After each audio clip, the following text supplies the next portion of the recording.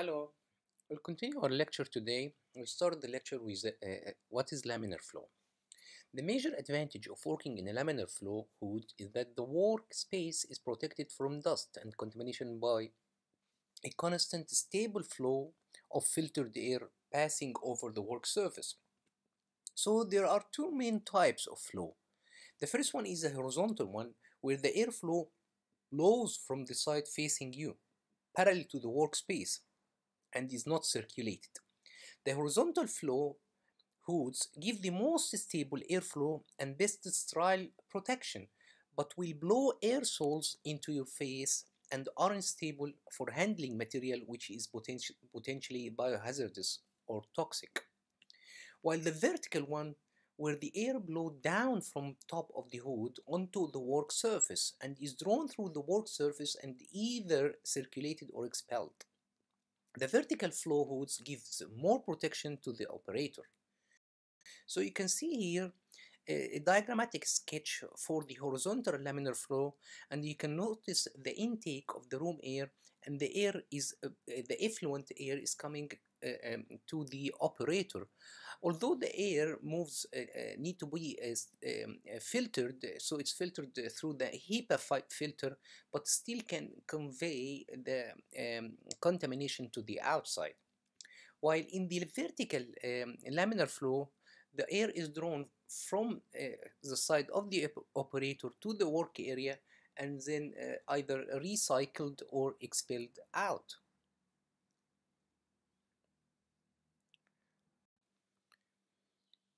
Here you can see the layout of the horizontal laminar flow hood.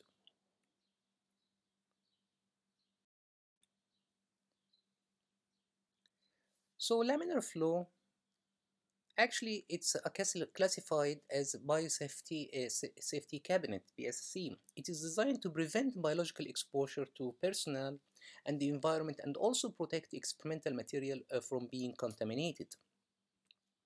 The types of the biological safety cabinet, three kinds, class 1, 2, and 3, have been developed to meet varying research and clinical needs. For class 1 and 2, uh, the agents used uh, for these ones are low of, of, and moderate risk. And the first one uh, provide protection for user only, while the other one provide for user material. For class 3, it's usually the agent you, uh, you uh, used there is uh, of high risk, and including BSL 3 and 4, and also um, provide protection for a user and the material. The BSC cabinets use high efficiency particulate air filters, which is called HEPA filters, in their exhaust uh, or supply system to protect against exposure to particulates, including biological agents used in the cabinet. Ultraviolet is used as well to sterilize the air and exposed surfaces in laminar flow hoods between uses.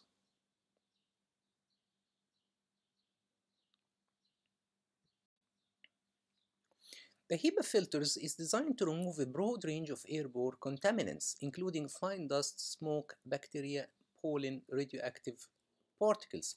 For BSL1, biosafety level 1, the working involving well-characterized agents not known to cause disease in adult humans and present minimum, minimal uh, potential hazard to laboratory personnel and environment. For BSL2, the work involving agents that pose a moderate uh, hazard to personnel and in the environment. For BSL-3 clinical diagnostic teaching research or production facilities where work is performed with exotic, exotic, exotic agents that may cause serious or potentially lethal diseases through inhalation route exposure.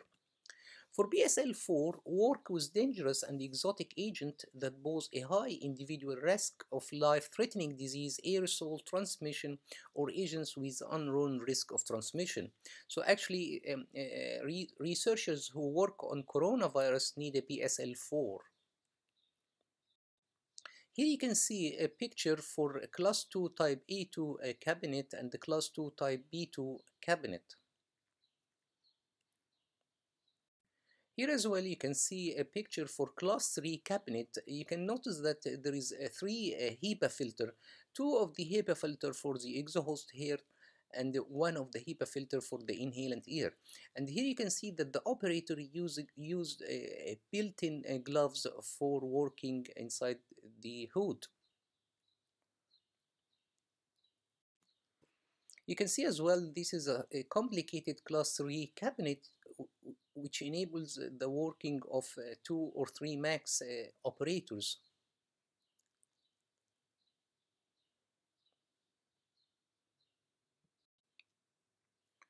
So for the top product uh, types of protection and the, the, kind of BSC uh, used for if you need to protect uh, or concern to the protection of the product you need a minimum class 2 or class 3 if the laminar flow, flow is included for personal protections and microorganism protection from the cabinet from the contamination you can use either of the three classes for volatile radionuclide or chemical protection, you need class 1, class 2, type B2 or class 3. This table shows uh, the percentage of recycled air and use host air and the control plenum surrounded by and the biosafety level. You can see that uh, in type 1 and type 3, uh, uh, all of the air is getting out as exhaust air, 100%. While you can see in, um, as well as type 2, uh, B2, and you can see that in type uh, 2 A1 and A2 70% are recycled air in type 2 B1 30% uh, are recycled air and you can see most of them uh, the pressure is uh, negative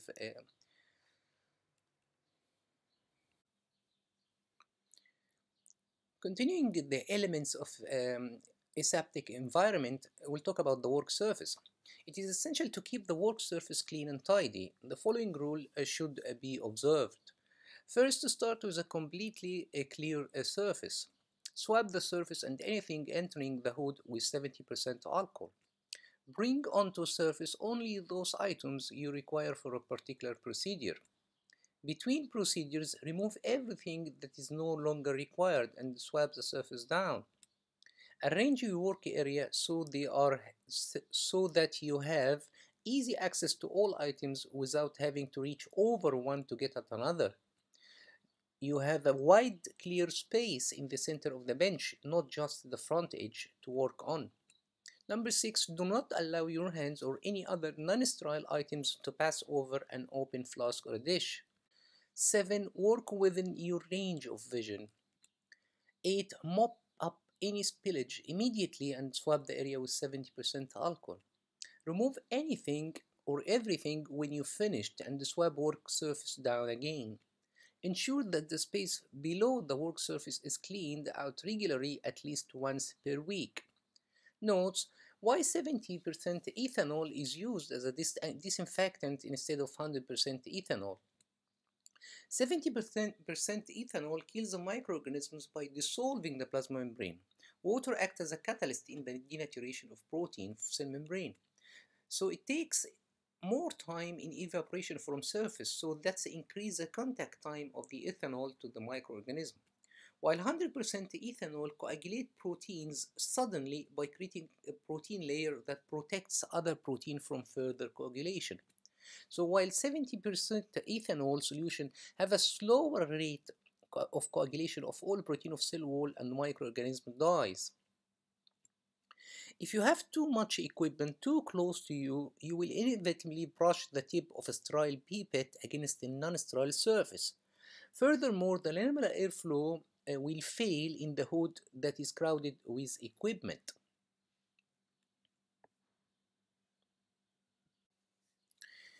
Here you can see here you can see how the inserting of a pipette in a pipette control. Pipette being inserted correctly with grip high on the pipette above the graduation and the pipette pointing away from the user like figure B. Circled area mark the potential risk in, in the uh, left figure.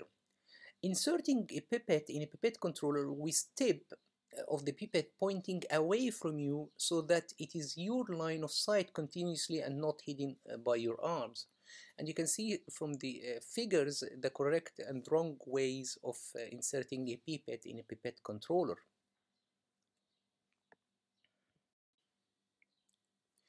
Personal hygiene is important while working in cell culture. Washing will also reduce loosely adherent microorganisms which are the greatest risk to, uh, to your culture. Surgical gloves may be worn and swapped frequently. Caps, gowns, and face masks are required under the good manufacturing practice, practice GMP when working with laminar flow. If you have a long hair tied back, when working aspect, uh, aseptically uh, on an open bench, do not talk. Now we'll talk briefly on the culture vessels and substrate. So generally the cell yield is directly proportional to the surface area. So you have um, the cell yield, uh, so as you can see from the figure, the line chart. So there is a lot of uh, culture vessels. You can see in this uh, figure, you can see the 6 well and 24 well and 96 well uh, micro titration plates used for cell culture. Here you can see the Petri dish three sizes, it says 3.5 and 5 and 9 centimeter diameter dishes. Here you can see the plastic flasks. You have uh, four sizes, the T10, T25, T75 and T185 centimeter square. Uh, and this represents the surface area for the gross of the uh, uh cells. This is another type of flask, it's called the multi-surface flask. It's actually here, it's a treble uh, flask with three 80 centimeter gross um, uh, surfaces that are seeded uh, simultaneously. Although the gross surface total is 240 centimeter, the sh shelf space, uh, space is equivalent to a regular 80 centimeter uh, square flask. This flask is best used with a filter cap in a CO2 incubator. So the advantage of using this flask is uh, saving a lot of flask and space as well inside the incubator.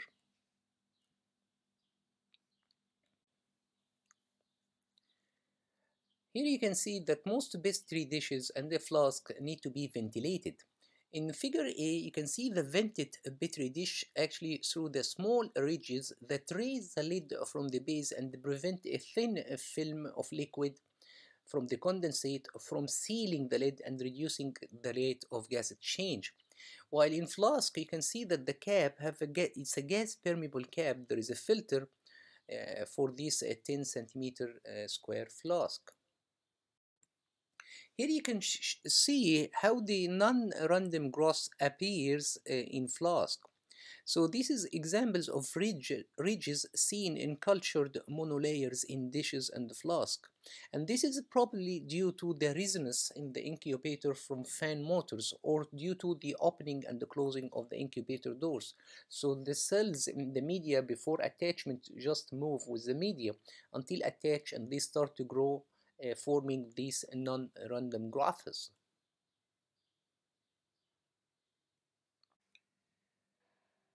We'll talk briefly on the defined media and supplements some, and some of the physicochemical properties.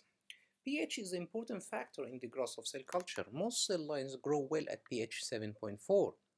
The phenol red is used as an indicator in the culturing medium. It is red at pH 7.4 and become orange at uh, pH 7, yellow at pH 6.5 and lemon, lemon yellow uh, below 6.5.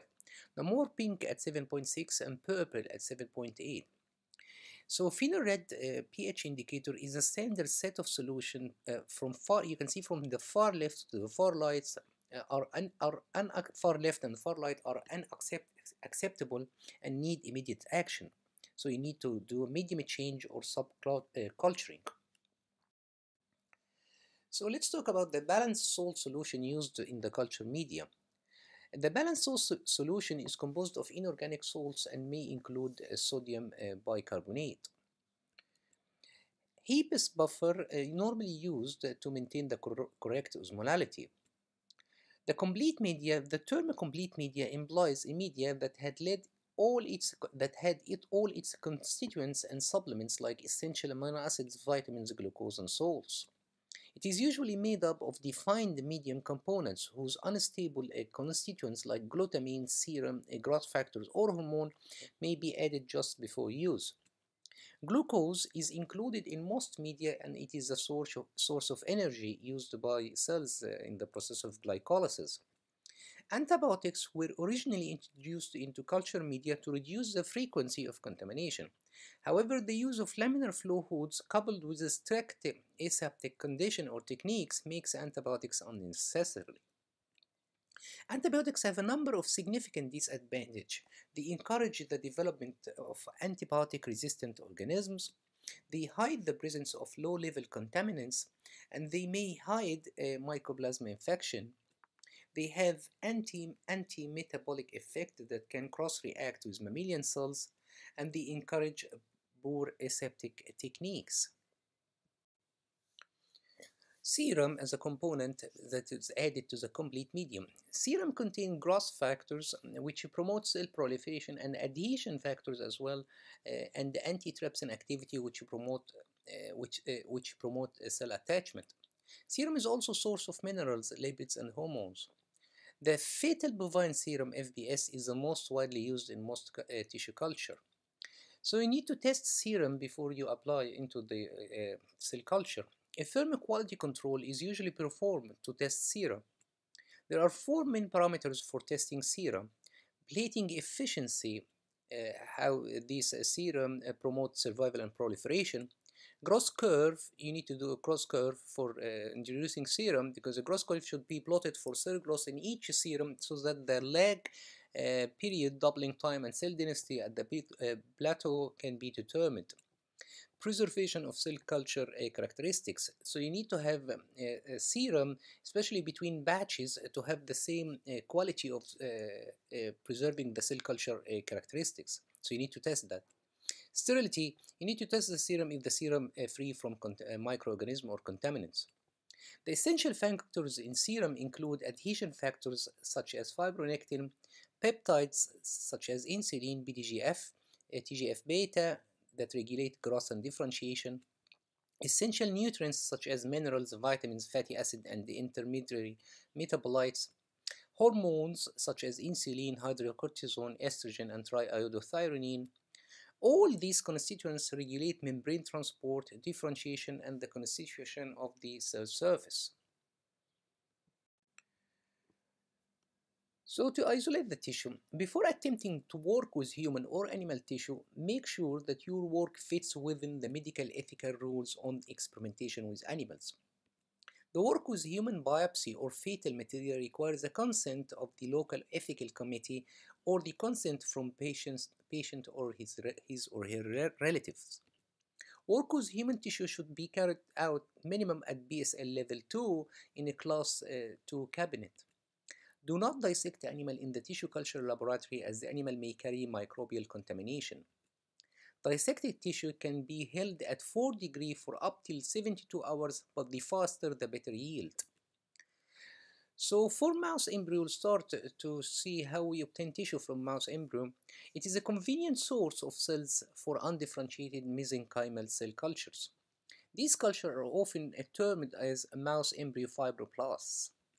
The optimal age is 13 days, uh, 13 days of the embryo, and, the, at this stage, it still contains a high proportion of undifferentiated mesenchyme. As well, the dissected individual organ is easier at 13 to 14 days, and most of the organs are completely formed by the 18th day. So starting uh, to get tissue from a mouse, you start to, by swabbing the abdomen and then tearing the skin to expose the abdominal wall and then you start to opening open the abdomen as you can see in figure D.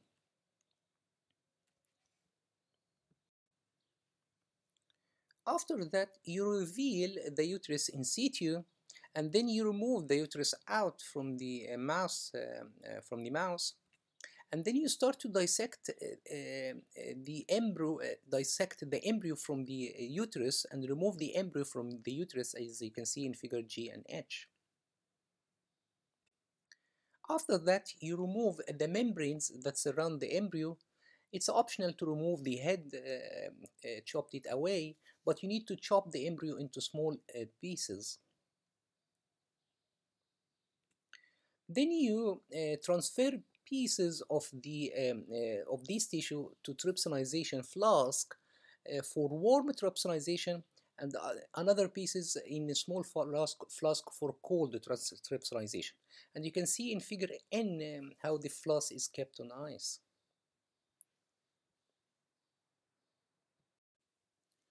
So after getting tissues from mouse, uh, the, uh, we'll talk about uh, getting tissue from chick embryo. Chick embryo, embryos are easier to dissect as they are larger than mouse embryos at the equivalent stage of development. Like mouse embryo, chick embryos are used to provide mesenchymal cell primary culture uh, to, for proliferation analysis. Because of their larger size, it is easier to dissect out individual organ to generate specific cell type, such as hepatocyte, cardiac muscle, and lung epithelium. So you can see here you start by removing a chick, to remove a chick embryo from an egg. You can see that you swab the egg with alcohol and then you crack the egg and peel, peel, peel off the shell. Then you after peeling out the shell uh, you can see that um, uh, the chorioallantoic membranes are visible uh, CAM and the, and the vasculature is revealed. Then you remove the chorioallantoic membrane with a forceps as, as shown in figure F after that, you grasp the embryo around uh, around his uh, its neck and withdraw, and you try to withdraw the embryo from the egg, and uh, you uh, isolate this 10-day embryo in a petri dish.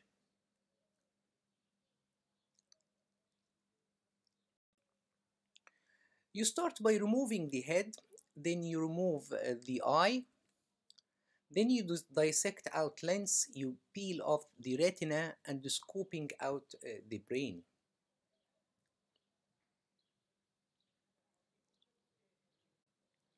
After that, uh, you are now halving the trunk, uh, uh, cutting it into two halves. You are teasing out the heart and lungs from the anterior half. You are teasing out the liver and the, and the gut from the posterior half. Now you insert the tip of the scalpel between the left kidney and the dorsal body wall, trying to squeeze out the spinal cord, peeling the skin off the back of the trunk and the hind leg.